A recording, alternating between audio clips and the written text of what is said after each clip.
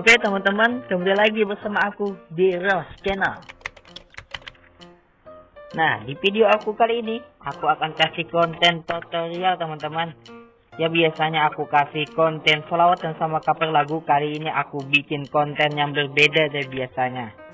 Ya, kali ini aku akan bikin konten tutorial bagaimana cara kita bikin stiker foto WhatsApp itu dengan desain dan foto kita sendiri teman-teman.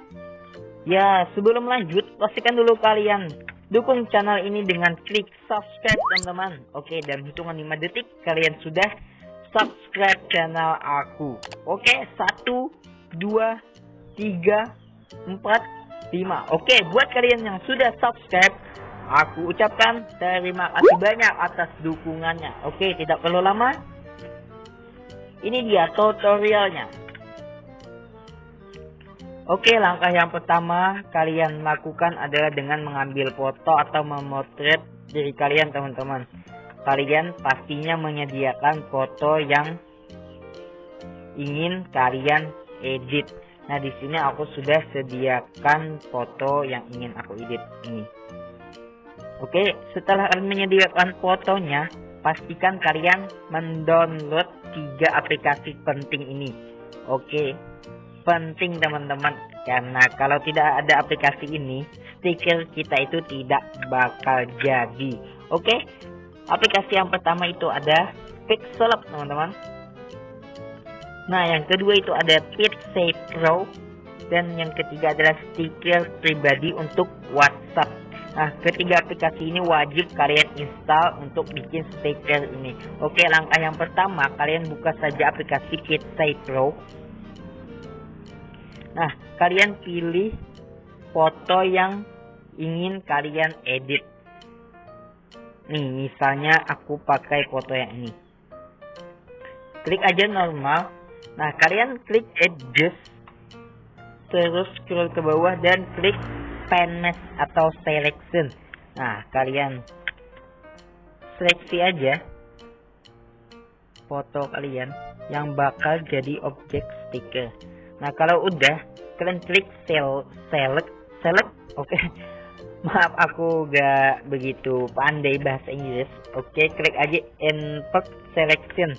Nah di sini teman-teman seleksi aja dengan hati-hati dan rapi. Agar hasilnya juga terlihat bagus. Oke kalian lakukan ini dengan perlahan. Ya kuncinya sabar aja Nah. Ya, di sini karena aku hanya bikin tutorial sebagai contoh aja. Jadi aku nggak rapi-rapi banget gitu ya.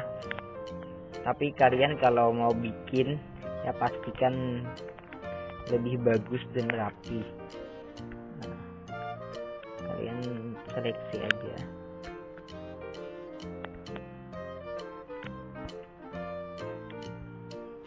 kalian juga bisa pilih bros kalian kecil atau besar.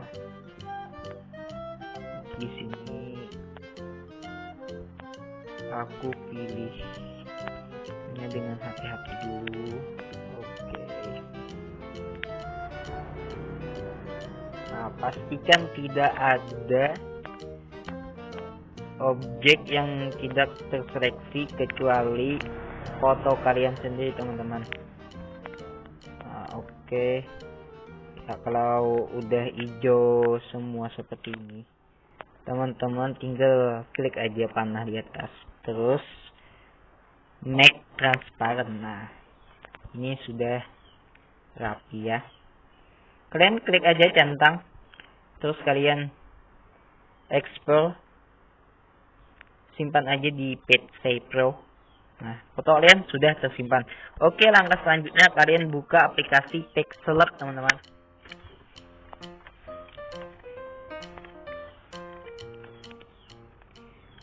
Nah, kalian di sini pilih aja tanda kertas lapis 2 terus klik transparent.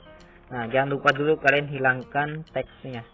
Oke, kalau sudah kalian klik aja tanda plus di atas ini terus from gallery untuk kita import foto yang telah kita edit.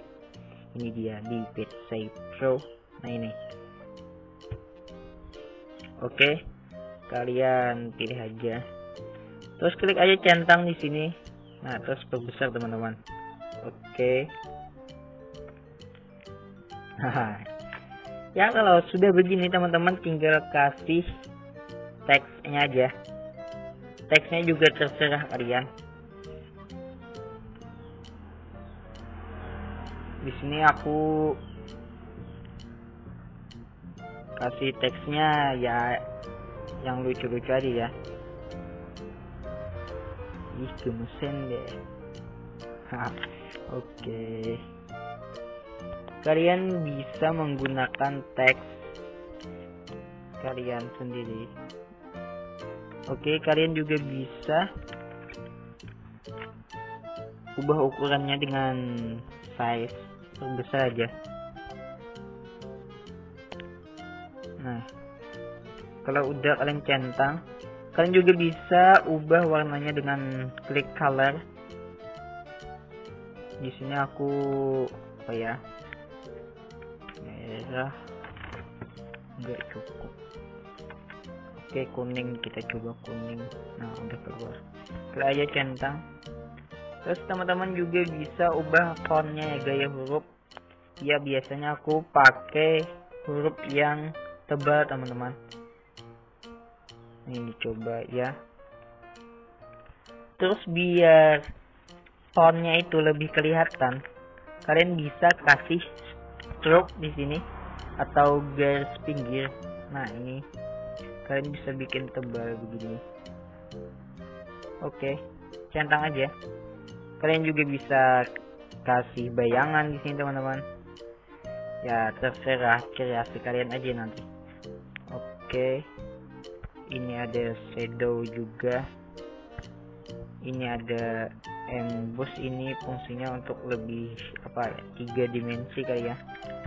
Lebih keluar aja. Ini ada bayangan juga nah kalau udah begini teman-teman klik aja simpan di atas. Save as image. Nah kalian simpan. Oke kalau sudah kalian simpan langkah yang terakhir kalian buka stiker pribadi untuk WhatsApp. Nah kalian izinkan. Nah kalian pilih aja folder yang ingin kalian explore ya kalau kalian taruhnya di pixel kalian cari aja pixel nah ini ada pixel oke kalau udah klik aja tanda tambah.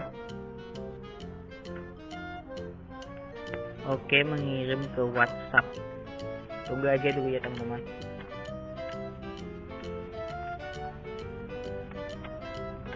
Agak lama ya Opik Seleb sudah pernah ditambahkan ke WhatsApp oke. Nah kalau udah pernah ditambahkan nah ini folder apa tadi?